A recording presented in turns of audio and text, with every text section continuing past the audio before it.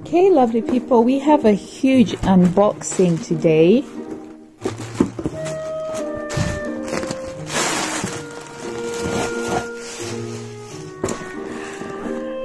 Ah. Sarah Jessica Parker, Unspoken.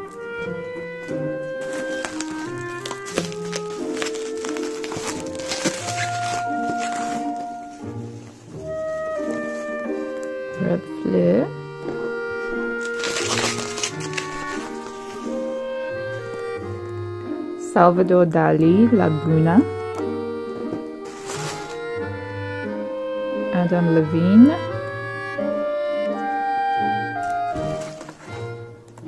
La nuit présente.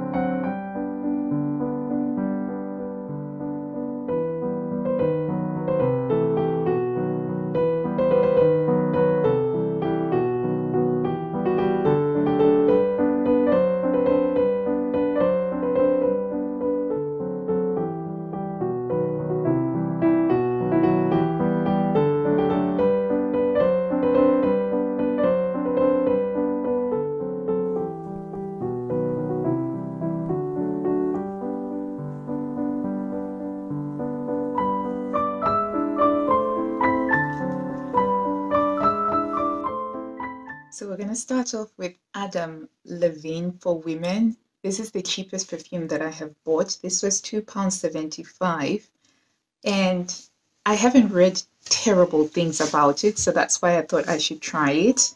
The top notes are supposed to be saffron, marigold, the base saffron, marigold, and citruses, and then the middle notes, the hot notes are rose petals, Indian jasmine, and Australian sandalwood. I'm not sure what the difference is between normal sandalwood and Australian sandalwood, but I'm sure it's probably subtle. The base notes are vanilla and benzoin. So I'm quite curious to try it. As I said, it's not because um, I heard anything. I'm just, you know, always on the lookout for a bargain. And Okay, I'm not getting anything off of the bottle, so we're going to try it on here. So it's a really cute, small, teeny tiny size. I'm not sure I quite like this. I think it's supposed to create a microphone so that you can pretend to be singing along with Adam Levine. But okay, here we go. Oh, okay. Atomizer is not that great. There wasn't a lot of great control with it. Oh, okay. It's not too bad. It's very, um, I want to say mild. It's pretty, I think that this is a very inoffensive perfume. Definitely something I could see myself wearing around the house during the day. Okay, I'm getting a little bit of sandalwood, just a little bit of sandalwood. Not yet getting any rose petals or vanilla for that matter.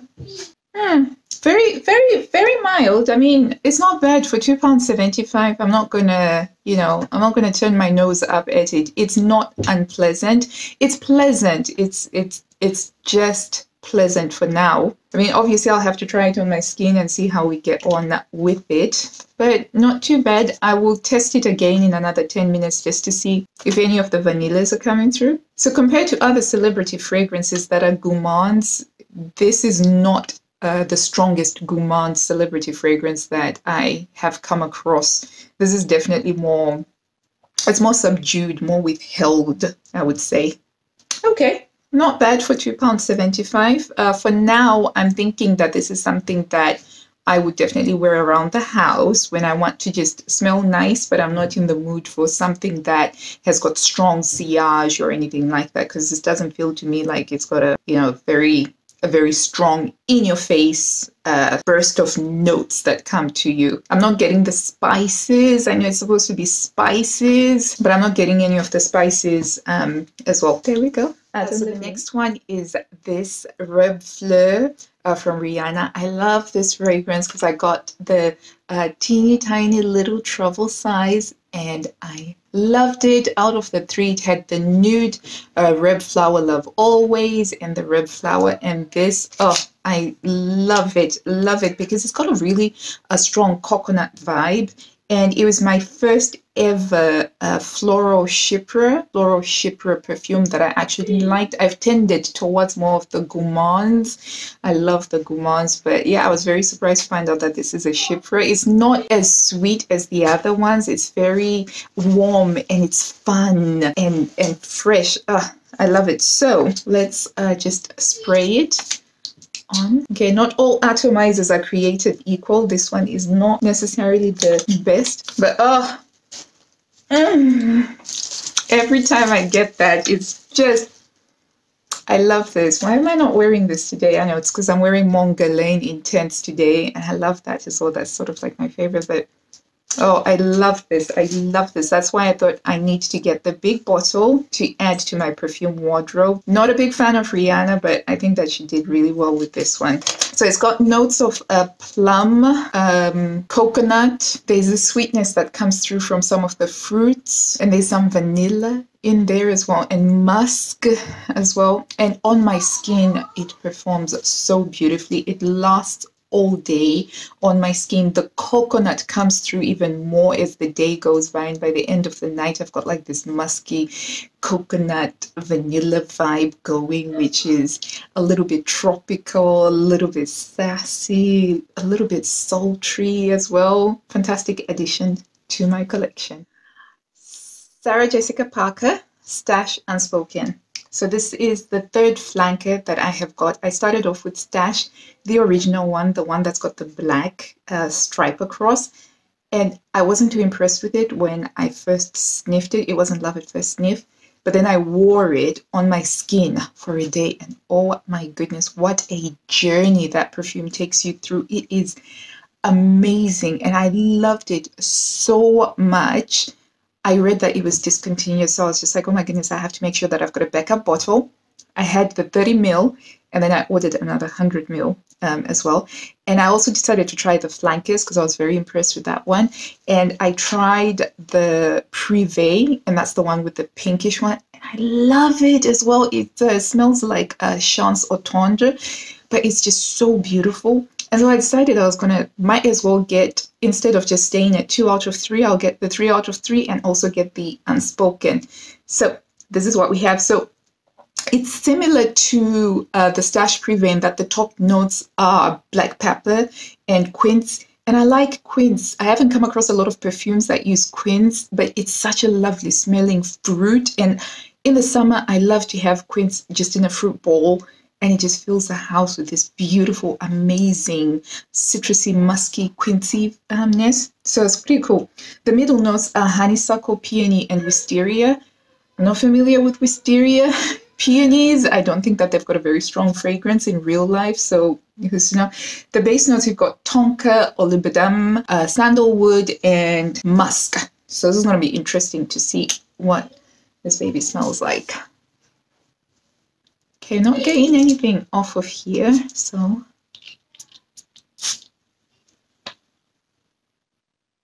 Mmm. So it's quite fruity and woody. That's the initial blast that I'm getting. I'm not sure that I'm getting the notes that I've read about in this. I can get a touch of the honeysuckle just a touch of the honeysuckle. Okay, it's not love at first sniff, I admit it isn't, but you know what? That's what happened with Stash. When I first got it, it wasn't love at first uh, sniff, but when I put it on my skin, it was just amazing. So I'm going to reserve judgment for this. On the opening, it's not too bad. It's woody, you know. Um, but yeah, it's a really lovely bottle. Again, I initially didn't like the bottle design when I first came across Stash, but then the juice converted me and I love the design. So I'm happy to have this uh, finally in my collection. So this is the third flank uh, of the Stash line. Okay, up next is Laguna by Salvador Dali. I didn't even know that Salvador Dali did perfumes, but I was browsing through a website and I actually saw this. They were reasonably priced, so I decided that I would try it because I actually really like the color. My favorite earrings actually have a similar color and i like i think that this is one of the most unique bottles i've ever come across it's not pretty but i think even if you didn't know that salvador dali does perfumes and you saw this you would instantly think salvador dali. So i think that the design perfectly captures um, salvador dali's. And yes this is an awesome looking bottle. I would keep this just for the bottle. But when i went to read the profile for this I was just amazed because it's got so much stuff in it. So it's got top notes include pineapple, Moroccan lemon, grapefruit, peach, galbanum leaf, plum, mandarin, orange, raspberry. I don't know what to expect there already. Middle notes, you've got Italian iris, Brazilian rosewood, jasmine, lily of the valley, and Egyptian rose. So again, there's a huge mix of uh, floral scent profiles here. And then for the base notes, I don't think I've ever come across a perfume that has got this many base notes before, but it's got coconut, vanilla, Madagascan sandalwood, tonka bean, patchouli, amber, musk, and cedar. So it's got eight base notes, um, of which normally I like perfumes that have the sandalwood, patchouli, musk, and tonka bean as a base. But yeah, let's let's try this. Um, so I'm guessing from the color I'm expecting it to be, I don't know, aquatic, I guess, possibly. Right, let's try this. The bottle is amazing to look at as a piece of art, but it's not very easy to um, hold. Right, here we go. Some of it ended up on my finger. Okay. Oh, wow. This is unlike anything I have smelt before.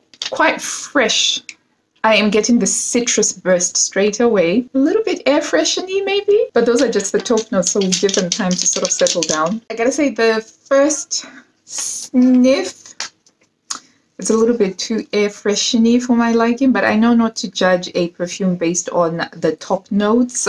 So Hmm. I'm just going to reserve judgment on this until I actually try it on my skin because I've noticed that my skin kind of does different things with perfume. So I will try that then. But yeah, it's a citrus. Right now, what feels very strong is the citrusiness, the citrus notes. But yeah, um, you know, I'll reserve judgment on it. But just the bottle alone is absolutely amazing. But it kind of makes sense that if if it's a Dali branded thing, I mean, I have no idea if he, the man himself was involved in actually coming up with this fragrance, or this is sort of like the estate um, monetizing on his legacy. But I think it does fit into the Dali aesthetic of being provocative and different and unusual because this doesn't smell like any of the other perfumes that I have uh, smelled before, certainly of the same price range, because that's kind of like the price range that I play in, you know, bargains and stuff like that. But it is interesting enough for me to want to try it um, some more. But yeah, so that's Salvador Dali.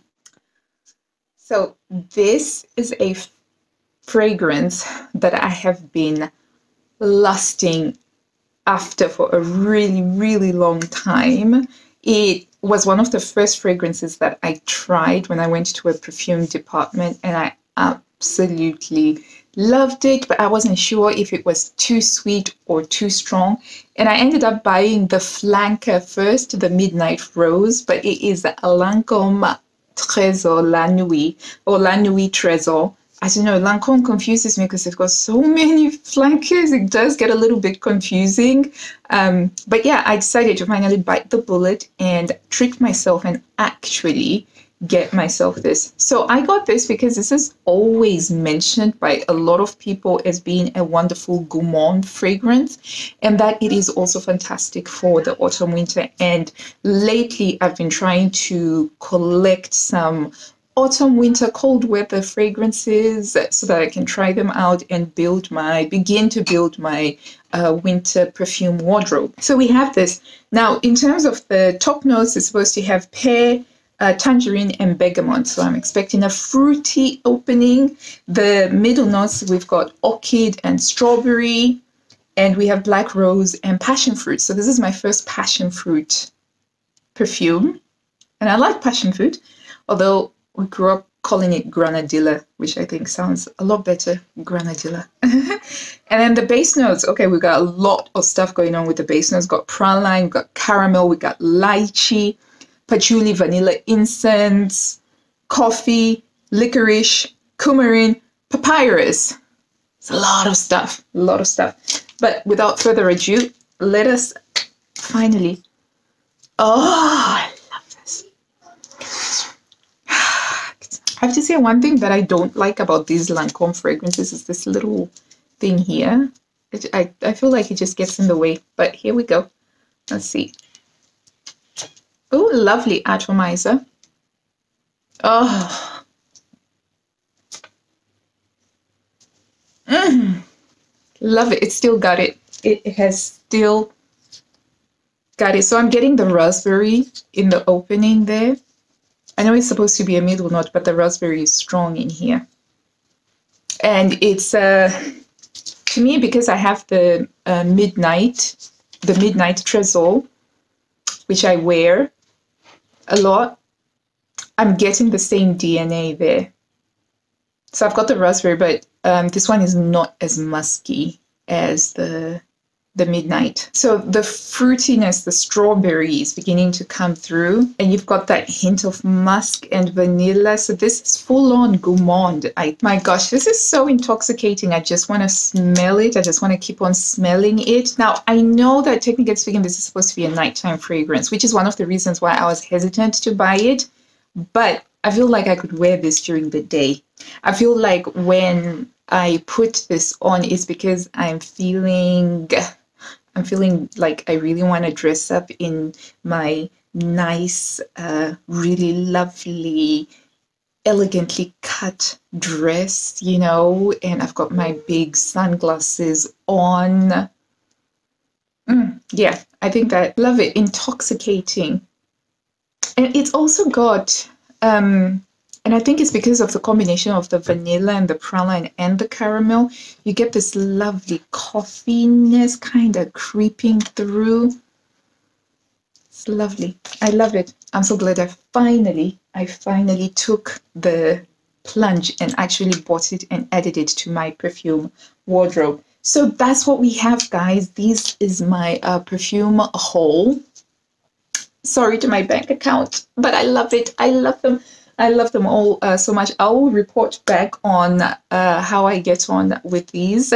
If uh, you like perfumes and you also like watching perfume stuff, then please do hit that subscribe button. Please also like the video, it helps the channel. And until I see you next time, guys. enjoy the fragrances. Bye.